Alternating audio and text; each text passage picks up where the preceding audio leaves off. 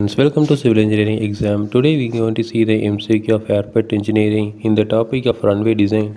So the first question, runway is usually oriented in the direction of option A prevailing winds, option B opposite to wind direction, option C against wind direction, option D none of the above. So the correct answer is option A prevailing winds direction. So next question, which factor is not considered for orientation of runway? Option A, wind direction. Option B, location of neighboring airport. Option C, topography. Option D, none. So the correct answer is option D, none. So next question, normal component of wind direction is called option A, perpendicular to wind component. Option B, cross wind component. Option C, light wind component. Option D, parallel wind component. So the correct answer is option B crosswind component. So next question percentage of time in a year during which crosswinds component remains within limit is called option A wind duration option B wind time option C wind correction option D wind coverage. So the correct answer is option D wind coverage. So next question calm period during which wind velocity remain below dash kilometer per hour option A 6.2 option B 6.4 option C 6.0 option D 6.6 so the correct answer is option B 6.4 so next question. Calm period equal to 100 minus option A total wind coverage option B total wind duration option C total wind velocity option D none. So the correct answer is option A total wind coverage so next question, wind rose diagram represent dash, comma, dash and dash of wind. Option A direction, duration and intensity. Option B data, duration and intensity. Option C direction, duration and intensity. Option D none. So the correct answer is option C direction, duration and intensity.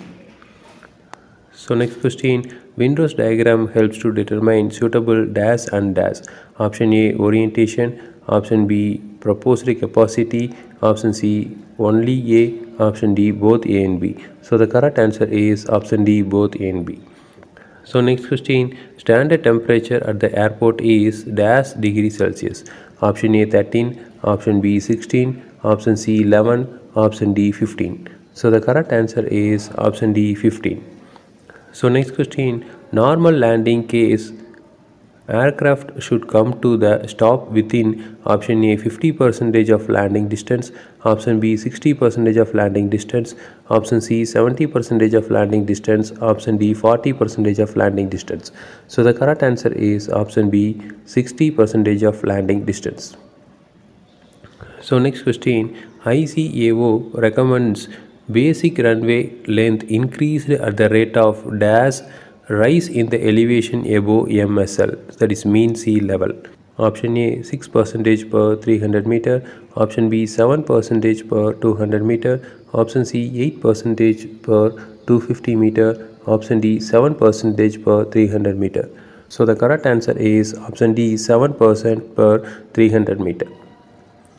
So next question airport reference temperature TA plus Tm minus TA divided by 3 where TA indicate option A monthly mean of average daily temperature for the hottest month of the year. Option B monthly mean of average daily temperature. Option C yearly mean of average daily temperature for the hottest month of the year. Option D none. So the correct answer is option E monthly mean of average daily temperature for the hottest month of the year so next question, FAA recommends that runway length after having been corrected for elevation and temperature should be further increased at the rate of dash effective gradient. Option A 20 percentage for every 2 percentage. Option B 10 percentage for every 1 percentage. Option C 20 percentage for every 1 percentage. Option D none of the above. So the correct answer is option C 20 percentage for every 1 percentage. So next question, effective gradient is defined Option A maximum difference in elevation between the highest and the lowest points of the runway divided by the total length of runway. Option B minimum difference in the elevation between the highest and the lowest point of the runway divided by the total length of the runway. Option C maximum difference in the elevation between the highest and the lowest point of the runway. Option D none of the above. So the correct answer is option E maximum difference in the elevation between the highest and the lowest point of the runway divided by the total length of the runway. So next question which are the element of runway? Option A structural pavement, option B runway and safety area, option C clearway, option D all the above.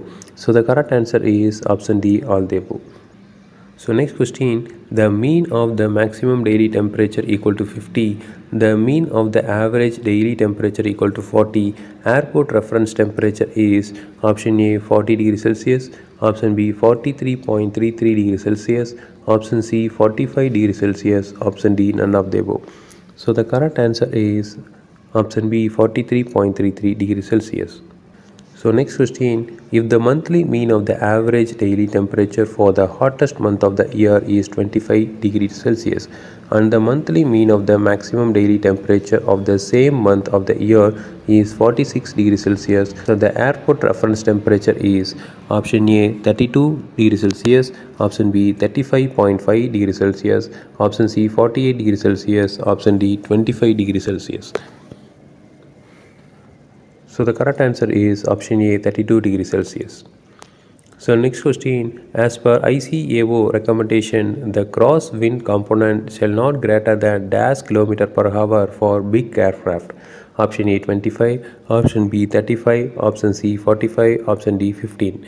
So the correct answer is option B 35. So next question, percentage of time in a year during which crosswind component CWC remains within the limit is called option A wind coverage, option B wind component, option C wind cone, option D none of the above. So the correct answer is option A wind coverage. So next question the period for which the wind velocity remains below dash kilometer per hour option A 6.4 option B 4.6 option C 6.54 option D 5.64 so the correct answer is option A 6.4. So next question, the time period in which the wind velocity remains below 6.4 km per hour and the airport site is known as option A wind obstruction, option B calamity period, option C calm period, option D wind coverage. So the correct answer is option C calm period.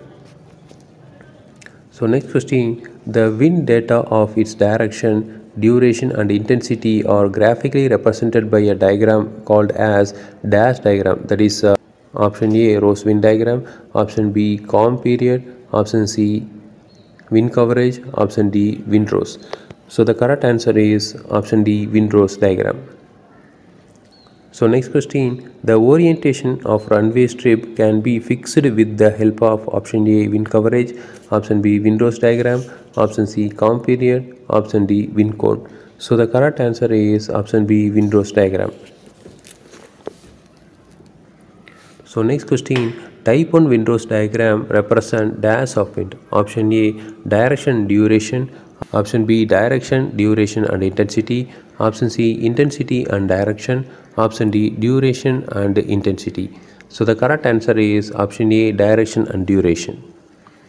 So next question, type 2 wind rose diagram represent dash of wind. Option A direction and intensity, option B duration and intensity, option C direction, duration and intensity, option D direction and duration. So the correct answer is option C direction, duration and intensity. So next question, aircraft should come to a stop within 60% of landing distance at the same time it crosses the threshold of the height of 15 meter is known as option A normal landing case, option B engine failure case, option C normal takeoff case, option D none of the above. So the correct answer is option A normal landing case. So next question 115 percentage of actual distance the aircraft uses to reach the height of 10.5 meter requires a clear way with not less than 150 meter is known as option A engine failure case, option B normal takeoff case, option C normal landing case, option D none of the above. So the correct answer is option B normal takeoff case. So next question require either clearway or stopway or both is known as option A normal takeoff case, option B normal landing case, option C engine failure case, option D none of the above. So the correct answer is option C engine failure case. So next question the basic runway length as suggested by aircraft manufacturer is 4 dash level. Option A reduced level. Option B mean sea level. Option C lower level. Option D higher level. So the correct answer is option B mean sea level. So next question. ICAO recommends basic runway length increased at the rate of dash percentage per 300 meter rise in the elevation above mean sea level. Option A 7 option B 10, option C 17, option D 0.7. So the correct answer is option A 7. So next question ICAO recommend basic runway length increases at the rate of 7 percentage dash meter rises in the elevation above MSL. Option A 130, option B 300, option C 30, option D 1300. So the correct answer is option B 300. So next question for each 1000 meter increases in the elevation of airstrip the temperature decreases by dash from the standard temperature. Option A 9.5 degree Celsius. Option B 6.6 degree Celsius. Option C 6.5 degree Celsius. Option D 5.6 degree Celsius. So the correct answer is option C 6.5 degree Celsius. So next question airport reference temperature equal to TA equal to average daily temperature Tm equal to monthly mean of maximum temperature.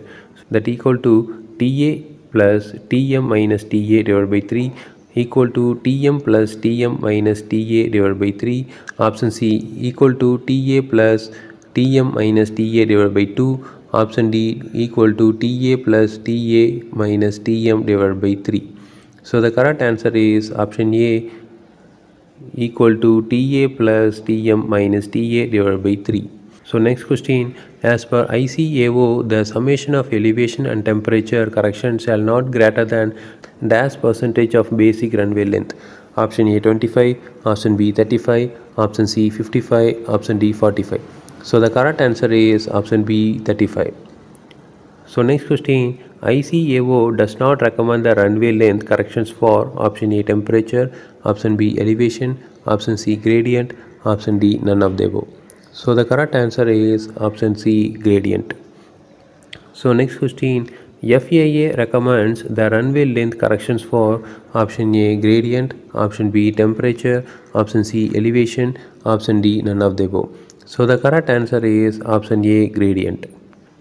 So next question as per ICAO recommendation minimum width of the runway end safety area for instrumental runway should be option A 150, option B 300, option C 250, option D 500. So the correct answer is option B 300. Again we will see in next video. Thank you.